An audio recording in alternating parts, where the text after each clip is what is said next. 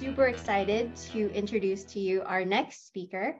Ashley Puls is the VP of Engineering at New Relic, and she will be sharing with you today how, forging your path as a technical leader. So I'm going to go ahead and invite Ashley onto the stage. Hello, right. it's a pleasure to meet you all.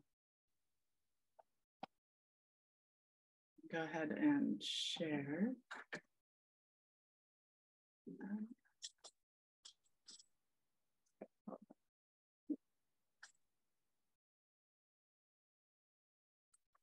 All right, hopefully you see the screen okay. All right, hopefully you're here today to learn about forging your path as a technical leader. a little about me. I've been at New Relic for over 10 years now. Uh, during that time, I've had two kids and acquired two dogs, all under 10. Uh, I started at New Relic as a software engineer on one of our teams. Over the years, I moved into the tech lead role of that team. I then moved into an architect role and then a staff engineer role. I kind of spun around there for a little bit until I became pretty opinionated about how architects should be managed and led. Uh, when you have someone very opinionated, a lot of times you give them that problem to solve. So I moved over into management. Uh, I first started managing a group of architects. I then also got a group of staff engineers, and now I also own reliability. So my goal today and why I'm here is that I really want to empower all of you to make informed career decisions. We spend a lot of time at work. And so I think we all should be doing something that's both challenging and that we enjoy. And to really do that, you need to own your own career. And the first step to owning your career is understanding your options. So, what I want to do today is to empower you um, and help you understand some of the key roles that I've had that are pretty standard in the industry for engineers. And I'm going to go over the responsibilities of each role, the types of problems solved in each role, the skills for success, and then also I'll cover how I transitioned from one role to another. And that's a question I get asked quite a bit is how do I make it to the next level? So we'll cover that as well. All right, so let's start with the software engineer. How many of you are software engineers today? All right, a couple of you.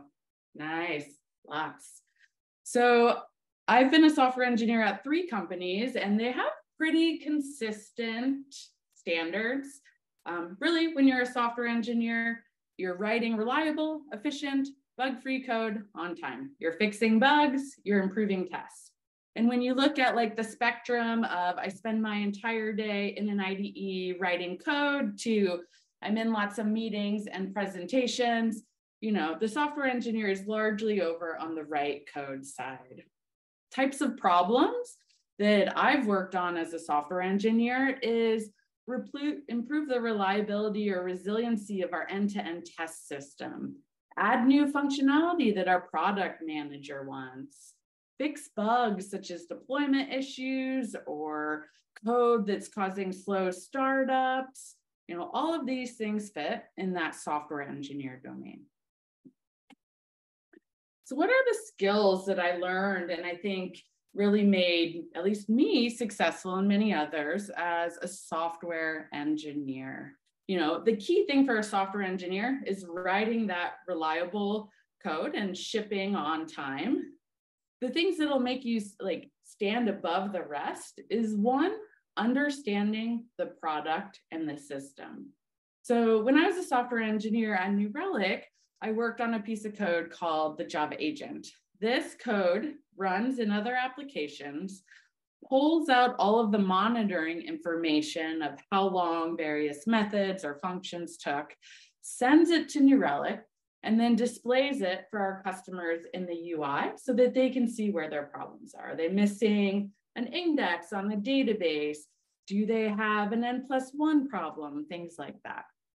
And so while I'm writing code in just this small green box here, I found it really valuable to understand what was happening to the data I was collecting and sending to New Relic. What were the transformations happening on that data? How was the data getting stored? How was it getting queried? Where was it showing up in the UI? And it kind of naturally, as I started to understand the product and the system, I also started to make small tweaks here and there in the UI and the pipeline as I saw things that were broken. also, once I understood the product and the system, it really helped me understand the problems that I was trying to solve. And this is my key second skill here is you want to solve the problem, not the task. So one example is, you know, one day I'm pulling my tickets out of Jira and figuring out what I'm going to work on. And one of the tickets says increase the timeout to wait for an app server to come up. So for our testing framework for the Java agent, we spin up these app servers, we run our test, and then we have to spin the app server down.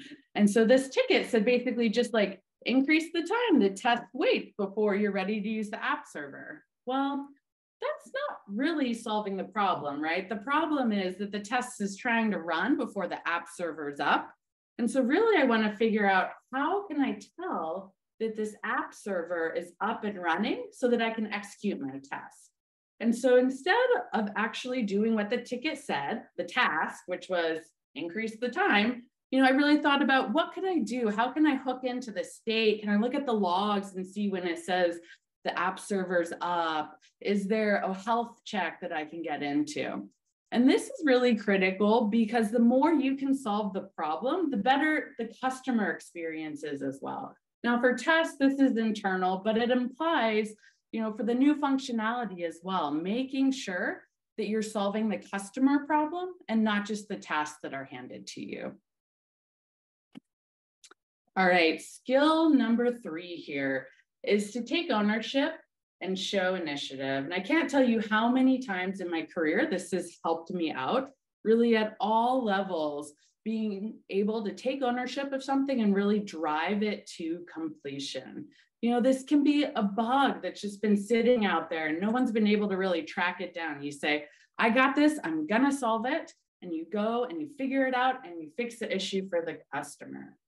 Other time it's a piece of new functionality. There might be work that's needed from another team. And instead of just stopping and being like, well, not my team, you know, I went and I get the work done either by having the team do it or I would do it so that I was shipping that customer value and I was taking ownership and showing the initiative and just getting it done.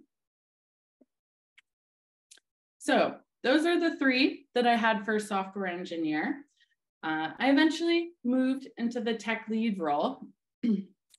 this is the really the kind of the person that guides the execution and the design for the team, right? They partner closely with the engineering manager and the product manager, and they're still writing a bunch of code, fixing tests, improving tests, sorry, fixing bugs, improving tests.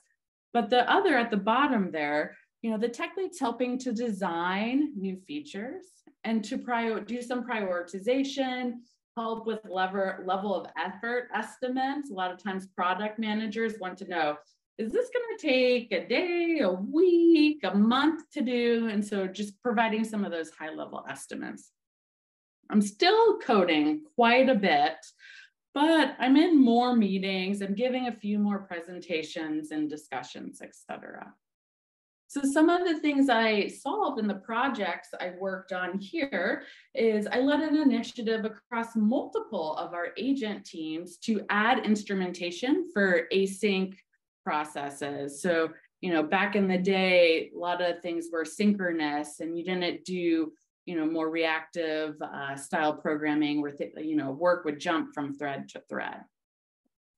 Um, and then I'm also starting some of the harder bugs, you know, and I'm continuing to develop new test frameworks and not just iterate on the one we have.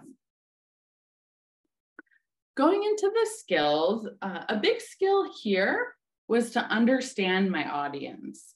You know, I'm not just talking to the engineers on my team now, I'm talking more with the EM, with the product manager, with other tech leads on other teams. And I realized that how I talk to an engineer on my team is very different than how I talk to my product manager, right? On the engineer on my team, I might be discussions, should we use a linked list, an array? Do we need concurrency here? My product manager doesn't care about any of those things, right? They wanna know, are we solving the customer problem? Is it gonna be on time? Do we need to change scope, etc. And so I had to change the language and the detail that I was providing as I was talking to different audiences. All right, skill number two here is be seen and network. This means actually sit at the table in the meetings, speak up. And this is honestly something that I've had to continually work on. I'm a very shy, introverted person. Um, and so I've had to learn how to, you know, jump into conversations, interject my opinion, etc. And I do this some, you know, sometimes it can be hard to jump into a conversation, especially on Zoom. Um, using the hand raise functionality. And I also think, ooh, you know, I haven't said a single thing in this meeting. I should really like make sure my voice is heard as well back when we were in the office, one of the great things about New Relic is we used to have a practice where everyone had lunch together in our lunchroom. And people used to always joke that I would work the lunchroom. I'd sit down with a few people, I'd talk with them, get all my questions answered. Then I'd go sit with another group, ask them a bunch of questions, get up and go sit with another group and ask a bunch of questions there as well. And, you know, at the time, I didn't really think of it as networking, but looking back, what I was really doing was networking. And as a result, I met a lot of people at the company and was able to have a connection and talk with them about very technolo- various topics in technology. Another thing I'll mention, we used to have a, a SVP at New Relic who he said he never ever rejected a request to talk to someone who reached out and asked them to talk about their career. And so I encourage you, think about the leaders, the people you respect at your company, reach out, ask if they'll have a conversation with you. The worst that can happen is they say, I don't have time. But more often than not, they're going to say, Sure, I'd be happy to meet with you and talk with you. The other thing to do there is to make sure they know that you're willing to help out, that you want those hard projects so that when they see them, they'll be like, oh, Ashley was talking to me about in being interested in that. You know, she might be a good person for it. All right, third set on the skill set list here for tech lead is make sure you're doing the technical work. You know, sometimes I see people, they move into the tech lead role and they start spending all their time in Jira, cleaning it up, in meetings, talking about potential things to do. Don't let this happen to you. Yes, you need to help with, you know, backlog ordering, things like that. But you are also the technical lead of the team. Your job is to be that leader to help make those hard technical decisions so don't get bogged down in just the paperwork. Make sure you're still doing the technical work and asking for those really important and potentially technically hard problems to solve. All right, so for me, I moved into architect next. This is not what everyone does. Some people become staff engineers, other become architects. Some people stay as tech leads forever. It really kind of depends on what you like and what you enjoy. For the architect, an architect's job is really to provide context. So to think about the big picture, what the company needs, and what is this team's role, and what outside context do they need to make the best decisions. They're accountable for the technical vision. How is this team going to move forward? What's next? How do we technically keep our toil down? Things like that. They also work on quality. It's important to keep the quality of the services the teams own at a high level. And then standardization. So things like what languages should we be using across the company? What databases are best for what cases? and writing up that standardization and then helping to work to get it into the tooling. And then finally, the architect should be a technical bar raiser. They should be mentoring other engineers and helping up level the technical standard at the company. So things and projects that I've worked on as an architect is one, helping uh, push SLO, service level objectives, and helping teams work through their SLOs. Um, I've done a lot of work in quality standards. So what are some of the standards we should have? How do we define quality? Um, I've also done things like providing feedback. When should we reorg? When is there tension? And helping be an advocate for teams who need more time on reliability or quality, things like that. So what are some of the skills as an architect? Well, I moved from a tech lead to an architect. And one of the first things was now I'm no longer on a team. I don't have this very structured role where, you know, I go to planning on Monday, I pull my tickets, I demo on Friday, and then I rinse and repeat. It's like what do I do all day? Uh, and so I had to kind of figure that out. At the time, I had, I think, seven teams that I was the architect for. And I was like, do I spend an hour with each team every day and then an hour reading my email?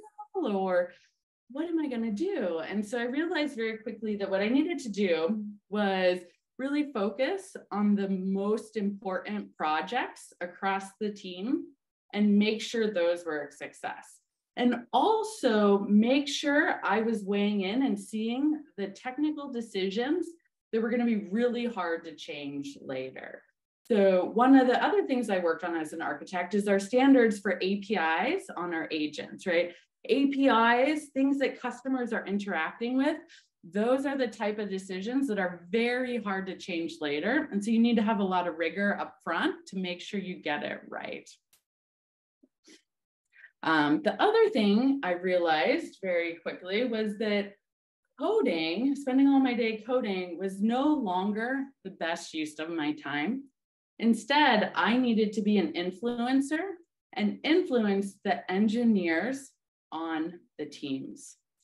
And so, one of the ways I did this is when I first became an architect, I said, okay, I'm going to go spend a week with each team that I'm an architect for. I'm going to embed with the team. I'm going to learn who's on the team and I'm going to show them that, hey, I'm a helpful resource. I can provide value.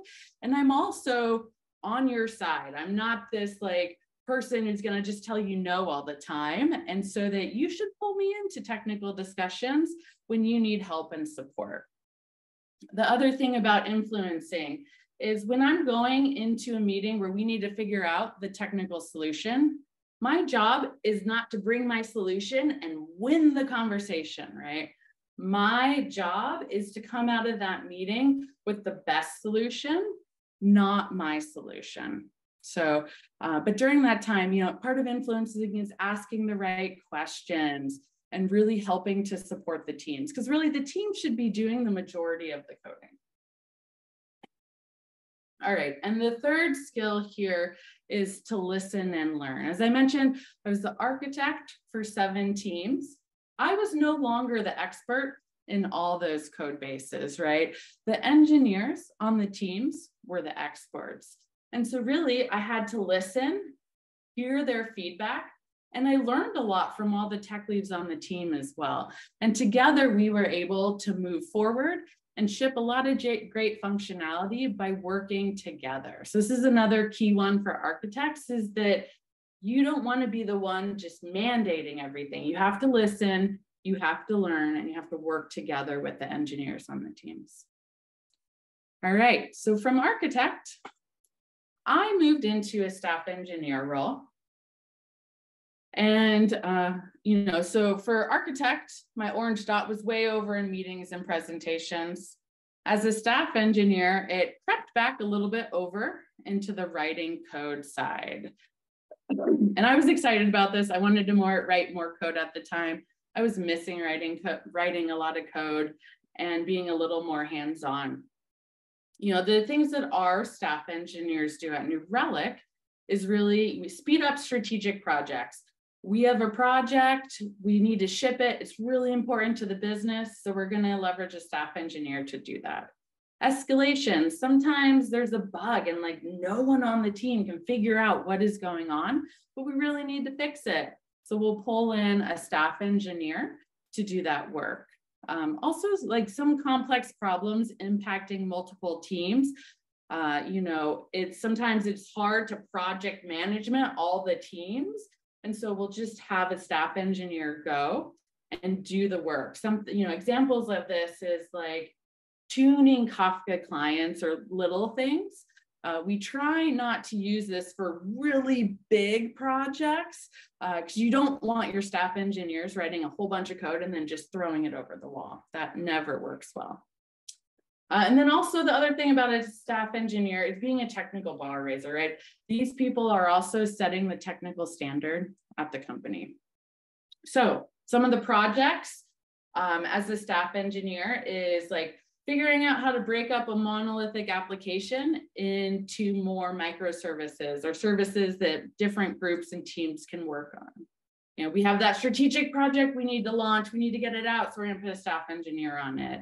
Um, also performance tuning, a team that, you know, garbage collection is just taking like all the time. And so they need help doing the performance tuning to get things in a better spot. So going through the skills, number one for a staff engineer uh, is talk before you code. I've seen many, many examples of staff engineers writing a big, complete complex set of code and then dumping it on the team with no description in the PR. And it's like, huh? What is this? Uh, and so one of the things I learned to do uh, pretty quickly as a staff engineer was to talk before I code. You know, an example is I needed to update um, our autocomplete library. So New Relic, we have our own SQL-like language to query our telemetry data. And we have an auto completer that will suggest what you should type in next. And I needed to do some work in there. So I went, I talked to the team, I explained why what I was doing was important. Uh, then I talked about how we should do it, and we agreed on the best path forward. And then I went back and I implemented it. So now when I'm submitting the pull request to the team, they know it's coming, they understand why. I understand their expectations on what I need to do for linters, for testing, things like that, and can do it ahead of time before I even submit the PR. All right, next up, and this really applies ooh, to architects and staff engineers, is put the company before any one team, right? So when you're on a team, I've seen teams like they're only comfortable changing code in their services. And so instead of like just changing where they're solving the problem, the problem gets solved in their code base and it just gets complicateder and complicateder and complicateder until you have this algorithm you're like i have no clue what's going on. And maybe like you could have just made a simple ui tweak where people wouldn't even click that button or things like that. And so I think it's really important for not only staff engineers, but architects to really put the company first and say we need to solve the problem in the UI layer or the backend layer uh, rather than just sticking with like biasing for a certain team. All right, and then my third one for staff engineer, uh, and this also works for architects as well, is to speak carefully. I've been uh, multiple times, I've kind of heard, well, Ashley said, do this. And it's like, I said that? Really? Are you sure?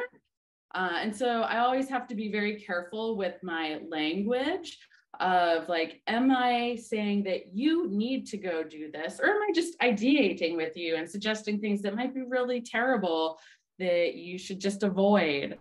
Uh, and so being very explicit about what I'm saying, what I'm expecting, uh, and confirming after with like, okay, so this was a brainstorming session. So nothing I said in this, like, we don't have to go do any of those ideas. And as a software engineer, I can tell you one thing that architects, staff engineers, leaders appreciate is you actually challenging some of the ideas and saying, I'm sure if that makes sense. Like, what about this instead? because uh, sometimes it can be hard for to, to have people challenge you because of the power dynamics at play. So don't be afraid to challenge or question things being said. Uh, and then when you're in this type of role, make sure you're being cautious about your language so that people don't take something you said and run with it. Um, because I mean, they will. And so you got to just always be careful. Okay, so I covered four roles today. You know, the software engineer, uh, I think many of you are that today, the tech lead, both of these are in the team, and then the architect and the staff engineer. So these are two examples of what people call today staff plus roles. Um, I think they're probably two of the more common ones across uh, organizations.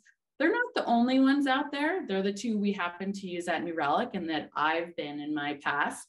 Uh, there's a couple great books out there as well on Staff Plus that I encourage you to read if you haven't.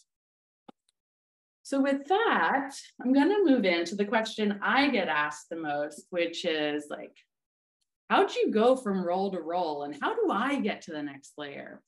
And a lot of times, you know, people are very focused on all the boxes on the career ladder.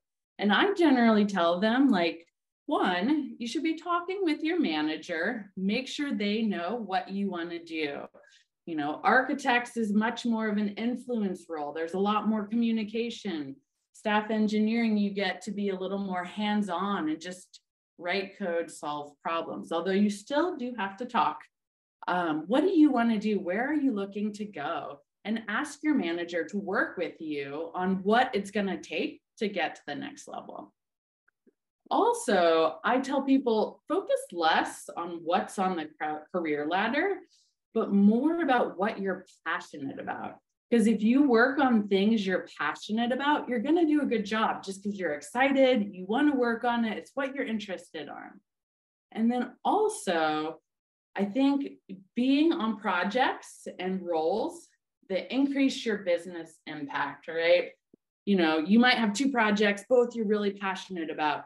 One is this like tool that maybe is going to help one team, and one is like the most important project for the company. Well, you should choose the one that's the most important project for the company, because uh, that's the one where you're going to get noticed, where people are going to see your work. Uh, and so it'll help you get to the steps and the positions you want. So for me, uh, when I went from engineer to tech lead, it was kind of natural and honestly just happened. Um, you know, I was asking for the critical projects. I was, you know, taking ownership and really driving them across multiple teams across the company. I'd also been mentoring several other engineers at the company at this point, and I always made sure my projects were a success. And I was really taking that ownership and just, you know, yeah, there's like things that come up that I didn't expect, but we worked through them and we ultimately got the project shipped and work to provide customer value. And so with that, um, I kind of just, you know, the, the, honestly for me, it just happened. Um, and also I continued to tell my manager that I wanted to stay technical. I wanted to work on the critical projects and I wanted to stay technical. So uh, at this point, I had actually a lot of engineering managers come ask if I wanted to join their team. I said no to a whole lot of things. And then this project came up and I really wanted to work on it. And so I asked, like, can I work on this? Well, actually, my engineering manager didn't think I'd be able to work on that project and also still be a part of the team because it was going to be so time consuming. And so to make it work, I ended up reporting to our chief architect. And so by really asking to work on this project, I kind of fell into the architect role and I had the brand name by being having driven many successful projects already that I was able to step in and take on that architect role. All right, and then so my transition to architect to staff engineer. I had just come back from maternity leave and I was working on this project. I was exhausted. I honestly wasn't doing that well. I was trying to get this team out of some reliability issues. We just weren't making project progress. and I needed a change. And so I just asked, like, I need a change. I need to find something else to work on. Like, I am not being successful and I'm out of ideas. And so I worked with my manager and we decided that the best thing for me was to switch to a staff engineer role. And I ended up taking on a staff engineering project where I built another core data type that's um, one of the core data types we support today at New Relic and was incredibly successful in this role. And so here, one of the lessons learned for me is like, yeah, you know, we're not always going to be successful. And it's okay to acknowledge that and ask for a change and work with your manager to get that change. So coming back, you know, in transitions and what I tell people when they come ask me about how do I get the next level? Well, one, it's all those skills that we talked about earlier. Two, it's really having good conversations with your manager about where you want to go and following your passion and make sure you're working on projects that are important to the business. And so if you do those things, I think, you know, hopefully this information can empower you to make informed career decisions. Because as I mentioned at the beginning, we do spend a lot of time working. And so it is important for us to work on challenging things that are, we also enjoy. You know, I look back at my career thus far and I see a lot of pictures of me smiling. You know, I'm largely happy with my own career and choices thus far. Yes, I've made lots of mistakes, but those mistakes have also translated into opportunities and lessons. And so, you know, I'm kind of thankful I made all those mistakes. And going forward, I know that I'm going to work on things that I'm passionate about. And I'm going to continue to drive my career on things that are important to the business that I'm at and things that I'm passionate about. And I encourage you to do the same. You should be happy and passionate about your career. So hopefully, this information today can help you and empower you to forge your own path. And with that, we'll go into questions. Thank you, Ashley. Um, I messaged you a couple questions a direct message in chat, and I think you might have addressed them, but take a quick look. And then for the rest of us, if you have questions, enter them into the chat and I will serve them up to Ashley. All right. So, question one I see here is Was there no competition for the tech lead position? What was it that made them pick you over anyone else on the team? did you ask to be the tech lead or did they just pick you? If they just picked you, do you think that you would have made tech lead sooner if you'd ask? Um, yeah. So uh, I did not ask at the time. Yeah, potentially I would have been tech lead sooner if I asked. I do think like you should ask for what you want. Um, another thing for me is that, you know, I work at a growth company. And so one of the nice things about being at a growth company is that there's always new opportunities and things to grow. And so having kind of that type environment and keeping your eye out for what are the opportunities that are appearing are super helpful as well. Uh, and then also just, you know, really having those successes and getting that brand name recognition across the company is beneficial. All right, question number two. How do you stay up to date on technical standards while being more removed from writing code day to day? Uh, yes, this is a hard one. Uh, I talk about this with our architects quite a bit because uh, most of our architects are very busy and they have a lot of projects on their plate at one time. And generally tell everyone like you have to make time to still do some coding and engineering work. Um, you know, and also reading you know the industry news what is important or sorry reading the industry news seeing what's happening what's going on you know like i have been i've done a lot of java development i still get my java newsletter on what they're putting into the next version of java things like that but really if if you don't let it happen like you have to consciously make that time or else it won't happen All right, question three. I've been working as a software engineer in test and I don't know what my options are. Can you provide some light on that? Uh, so at New Relic, we don't have a separate test org.